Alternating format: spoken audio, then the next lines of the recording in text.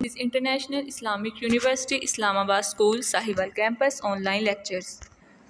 This lecture is for grade 3 science unit number 2 lecture number 1 how do we use tools and machines.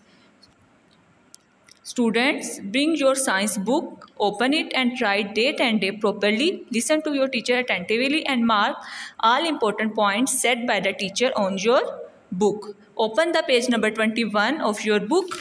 The topic is tools and machines. Suppose you want to move an object, you might choose a tool to help you. Machine. What is machine? A machine is a tool that can make work easier. Machine एक ऐसा tool है जो हमारे काम को आसान बनाता है Sometimes tools and machines can do things that your body can't do on its own. Next point is simple machine. A simple machine is a tool with few or no moving part simple machine एक ऐसा tool है जिसके साथ कोई moving part नहीं होता और अगर उसके साथ कोई मूविंग पार्ट प्रेजेंट हो तो वो थोड़े से मूविंग पार्ट्स होते हैं लाइक वन टू या फिर होता ही नहीं है। It's example is screw a screw is a simple machine a screw holds things together the next point is kinds of tools and machines. There are many different kinds of tools and machines. Levers, wedges, pulleys inclined planes, screw and wheel and axle. Lever and wedges are simple machines. Pulley and inclined planes are simple machines too. Pulley. What is function of pulley?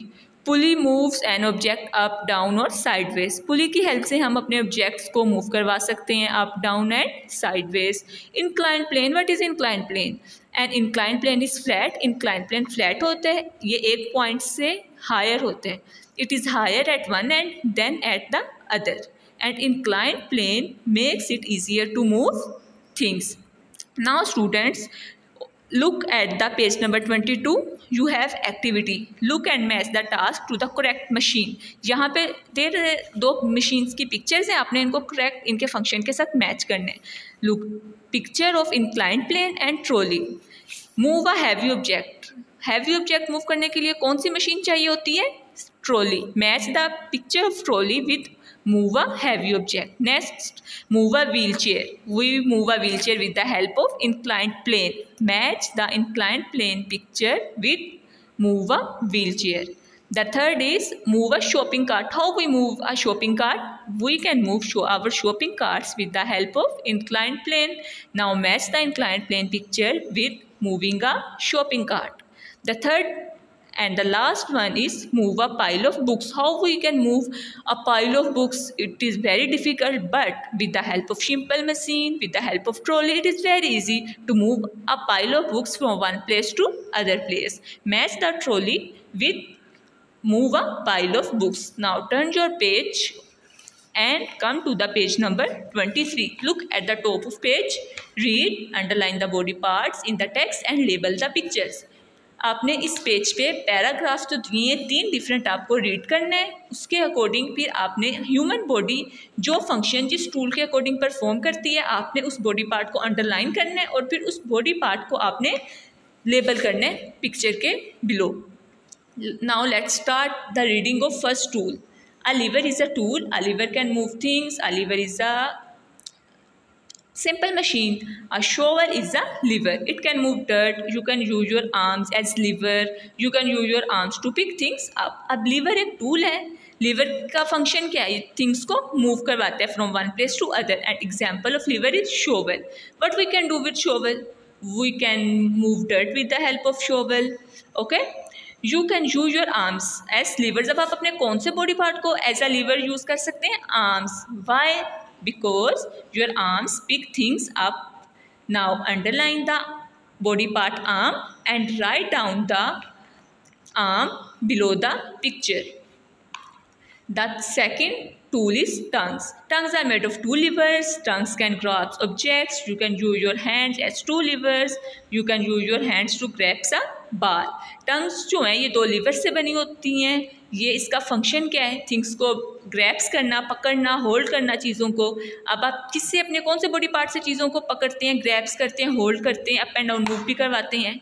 With your hands because your hands grasps are different things for example look at the picture boys grasping a ball it's like it's boy we all graspings with our hands so the correct answer is hands underline the body part hand and also write it under the yeah or below the picture the third simple machine is wedge a wedge is a tool a wedge can push things apart wedge एक tool है और ये चीज़ों को apart करता है अलहदा करता है a knife is a wedge an example of wedge is knife what we can do with the help of knife we can apart things we can cut different things vegetables fruits with the help of knife so knife is a wedge And is a simple machine you can use your teeth as a wedge अब आप अपने कौन से body part को as a wedge use करते हैं? Teeth को. How you cut the food you can chew food with the help of your teeth so correct answer is teeth underline the body part teeth and also write it below the picture now अब आपने एक activity करनी है you have to think what other body parts can use as tools अब आपने खुद से सोचना है कि और कौन कौन से आपके बॉडी पार्ट्स हैं जो एज अ टूल यूज़ होते हैं और आप उनको डेली एक्टिविटीज़ में यूज़ करते हैं okay now Look at the page number 24. Here is one also activity for you. Read and underline the two ways animals use their body parts as a tool आपने इस paragraph आपकी book पे given है page number twenty four पर animal body parts as tool आपने इसको read करना है और टू वे इसको अंडरलाइन करना है जो animal as a tool use करते हैं. Now let start reading think about different animals animal use body part as tool gopher use their claws to dig into the ground woodpecker use their beaks to drill into trees animals use their body parts to do work अब इस paragraph में ये लिखा है कि आपने animals के बारे में थिंक करना है, सोचना है कि जो डिफरेंट एनिमल्स हैं, वो अपने डिफरेंट बॉडी पार्ट्स को कैसे एज अ टूल यूज़ करते हैं।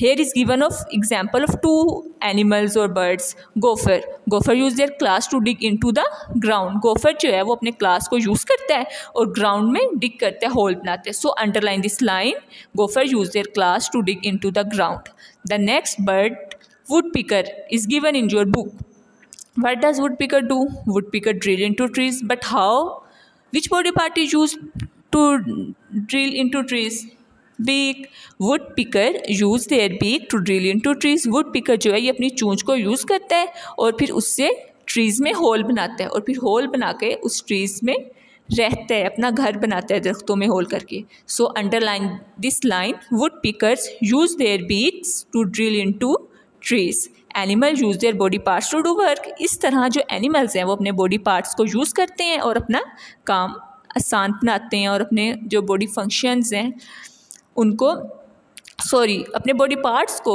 एज अ टूल यूज़ करते हैं। Now you have done your lesson number two and also activity four five and six now your homework task is to do activity number 7, 8 and 9.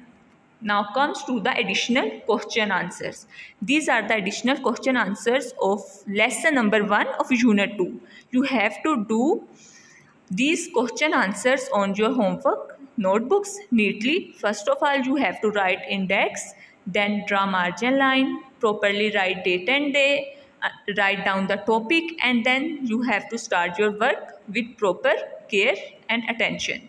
The first question is define goal a goal is something you want to do goal कुछ भी ऐसा काम आपका मकसद हो सकता है जो आप करना चाहते हैं, जिस, जो करने के लिए आप डिटर्मिंड होते हैं कि आपको इन एवरी केस आपको ये करना है। The next question is what is material a material is what something is made of material वो होता है जिससे कोई भी चीज़ बनी होती है। Some materials are soft some materials are hard some are light and some are heavy like your pencil you hold a pencil in your hand ना, आपके पास जो पेंसिल है, आप इसे टच करते हैं, कैसे फील होती है? हार्ड फील होती है ना? तो ये किस मटेरियल की बनी है? वुड की बनी है, इसी तरह जितनी भी चीज़ें, जितनी भी आप थिंग्स यूज़ करते हैं, वो किसी ना किसी मटेरियल की बनी होती है। कुछ जो मटेरियल होते हैं, वो सॉफ्ट होते हैं लाइक कॉटन कॉटन को टच करने से सॉफ्टनेस फील होती है ना? तो कॉटन क्या है? सॉफ्ट है। कुछ मटेरियल्स हार्ड होते हैं लाइक टेबल आप टेबल को टच करें हार्डनेस फील होती है ना? So some are hard some material light अब पेंसिल है, आपकी पेंसिल वेट में कैसी है? लाइट है, जब आप इसको होल्ड करते हैं अपने हैंड में तो आपको इसका वेट लाइट लगता है ना? इसी तरह सब materials are hard like brick जब आप ब्रिक को पकड़ें तो वो आपको कैसा फील होता है? कैसा उसका वेट फील होता है? हार्ड होता है ना? इसी तरह कुछ मटेरियल सॉफ्ट होते हैं some are hard some are light and some are heavy materials now open your diary write date day subject and write down the diary. You have to do question number 7, 8 of lesson number 2 on your science book and do all additional question answers on your science homework notebooks. This is the end of our lesson. Thank you. Allah Hafiz.